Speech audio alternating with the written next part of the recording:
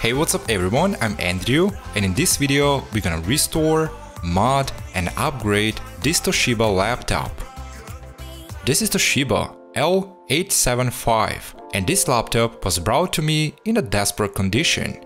The specs are not bad at all. The CPU is second generation Intel Core i3.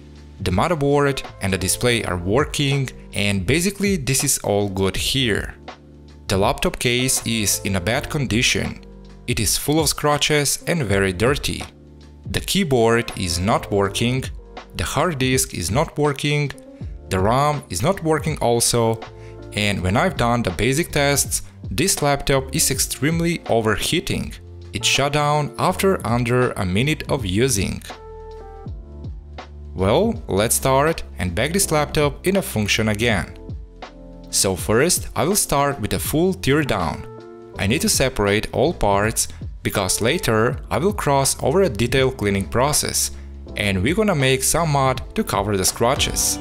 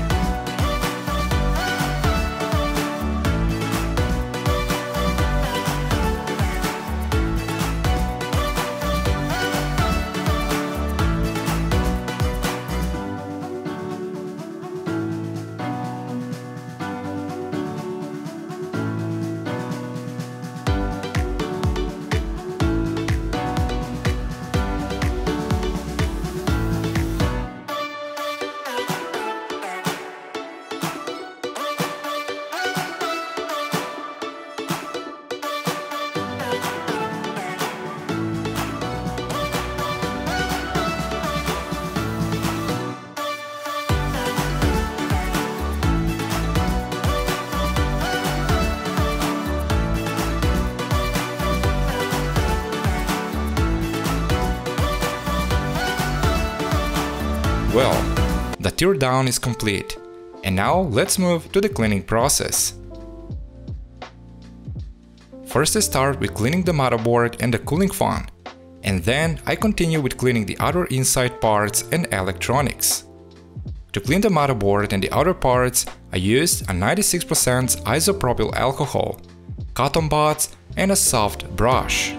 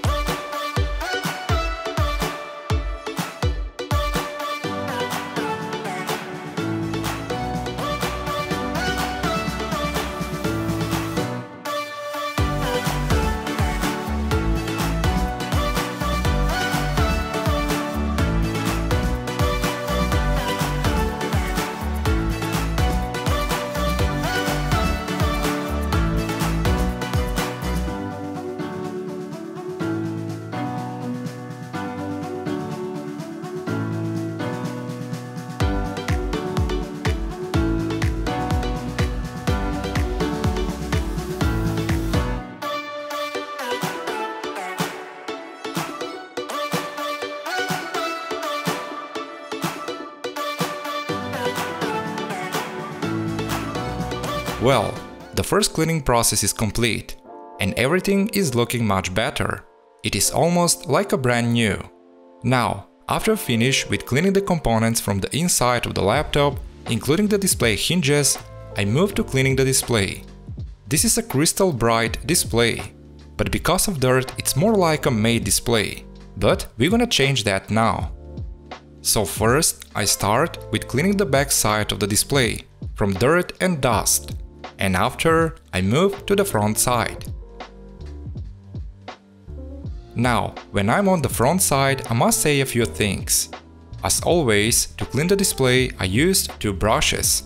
One is a soft brush for painting and the other is very soft makeup brush. Also I'm using a 96% isopropyl alcohol, anti-static glass cleaner and a few soft cleaning clothes.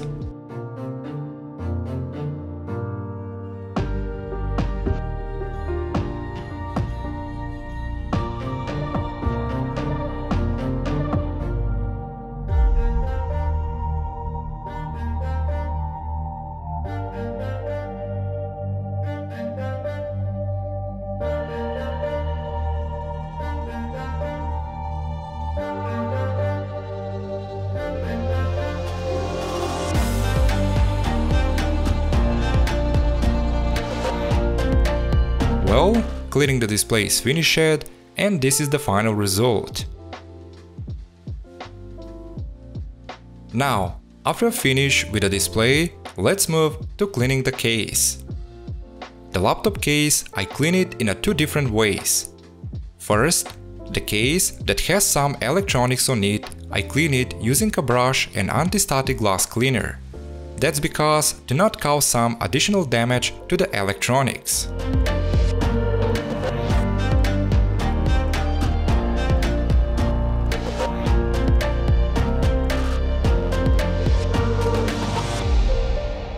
And the other way is the case, the plastics that are without any electronics, I wash it using soap and water. Actually, this is the only way to clean the case in detail and make it like a new again. And this is the case after cleaning. But I'm not done yet.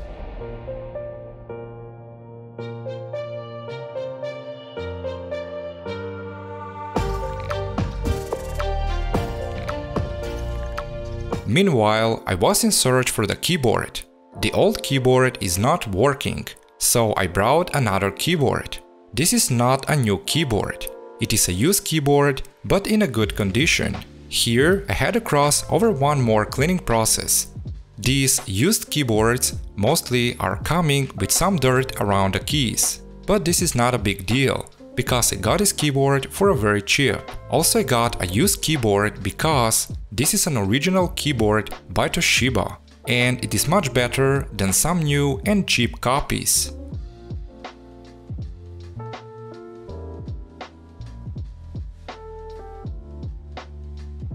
And finally, after a pretty long process of cleaning the parts and washing the case, everything is ready for the next step. And the next step is modding or painting the laptop case. Now, before I start with anything, now I cross over the preparing process. The preparing process is taping the case using paper tape, removing the stickers from the case and removing the other rubbers, like from the bottom side and from the display bezel. Actually, I have a big doubt to mod the case or not, but at the last moment I've decided to paint the case. It's because the case is full of scratches, especially very noticeable under a light, I mean over the day.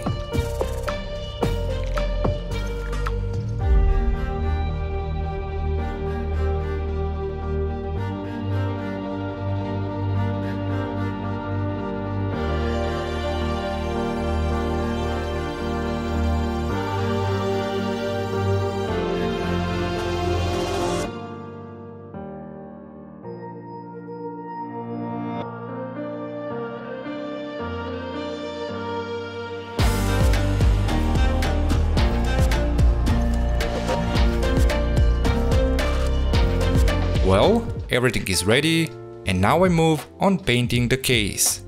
To paint the case, I use two colors, melon yellow and anthracite mid gray, which is a little bit unusual combination.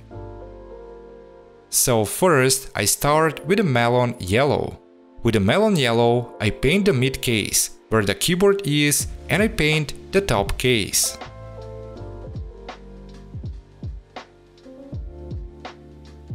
Now, before I move to the gray spray, first I remove the paper tape and again I move to the next taping process.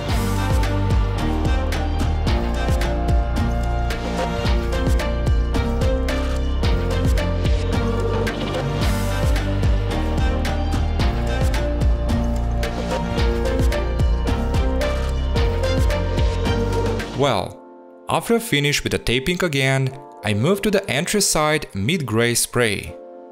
With a gray spray, I paint two parts on the mid case, where the keyboard is. I mean the speaker grill and the plastic around the trackpad. But also, with a gray spray, I paint the bottom case, the display bezel, the battery, the CD-ROM cover, and the keyboard holder. Well, now everything is ready and now let's move to the assembling process and do some upgrades. And first I will start with preparing the motherboard and installing better CPU. Instead of Intel Core i3 2370M, I will use Intel i7 2670QM. Actually this laptop can support i7 3rd generation, that's because this laptop has HM76 chipset, but last time I got a few of these i7 CPUs, and this is a perfect place to use it.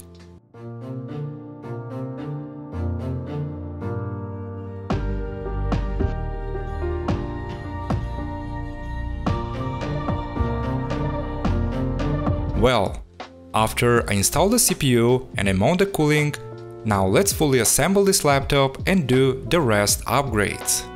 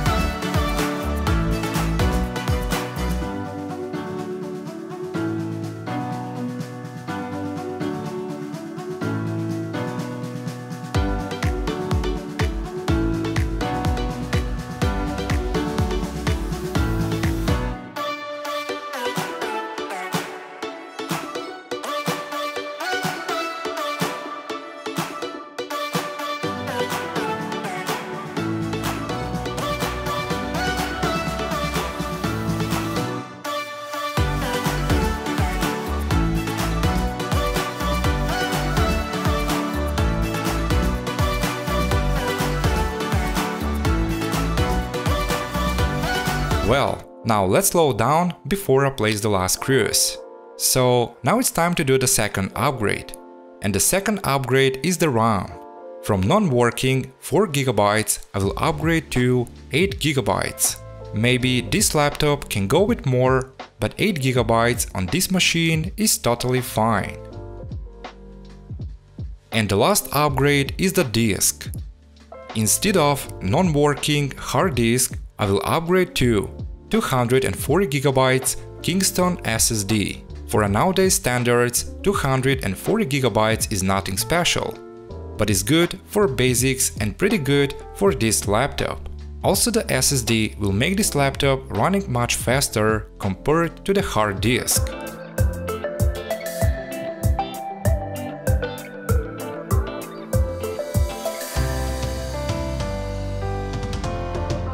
And after making all the changes, this is the final result.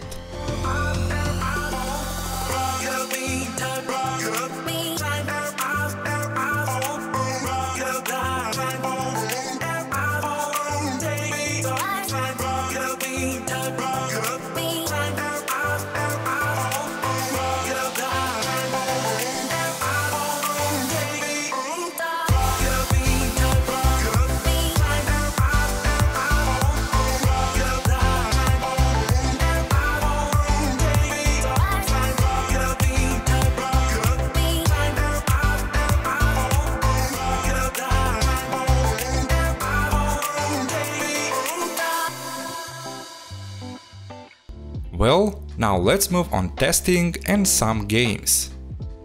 The Intel i7 CPU on this laptop is working well and without any problems. I was a little bit worried about the temperatures, but after I have done more tests, everything was in a normal range. So no problem with overheating or anything else. As an operating system on this laptop, I install the Windows 10 the Windows 10 is working well and pretty fast. The basic applications in Windows are also working well without any problem, and anything is surprisingly fast.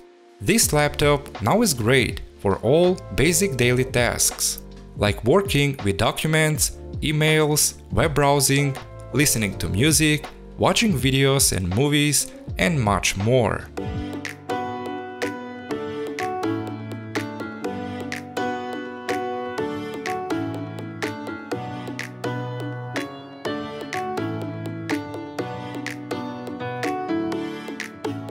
The gaming performance are not bad at all. The first game that I test is Call of Duty Modern Warfare 3. In this game I used a full display resolution and mostly medium and few high settings. The Call of Duty is running pretty good, with a stable frame rate and the game is fully playable. The i7 CPU done a great job here, and in the gaming area, the i7 is a step up in gaming performance. I mean compared with the previous Intel Core i3.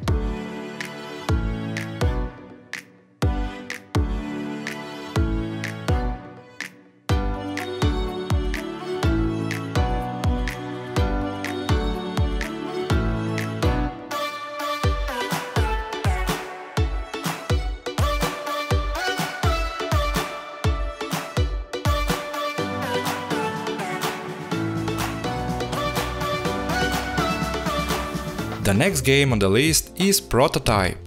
The Prototype is a bit older game, but it has higher system requirements.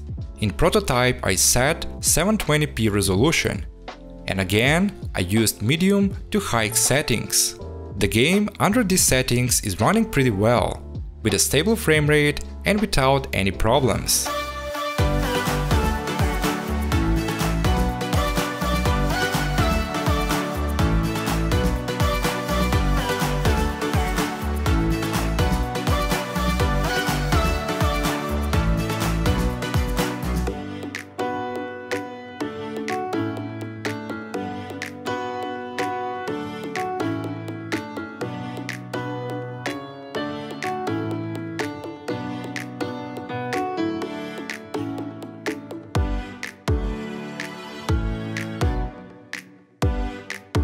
The last game that I test on this laptop is CS16.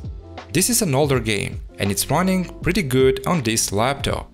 However, also this laptop is great for games like Half-Life or Half-Life 2 and many other similar games.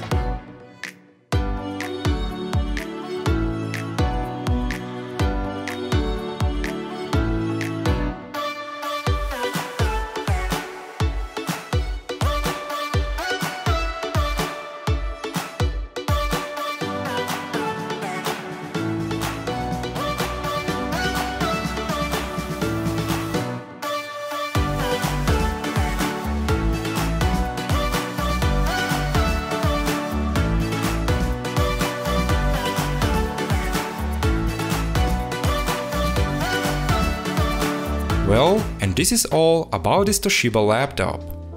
Nowadays, these laptops become old, and slowly they're staying in the past. But these models are still great for all basic daily tasks, and great to play some older but awesome games. I hope you enjoyed watching this video, and I hope this video will give ideas and inspiration to back some tech in function again. Also, if you want to support my channel and my work, you can press the subscribe button. Thanks for watching and I will see you in the next one.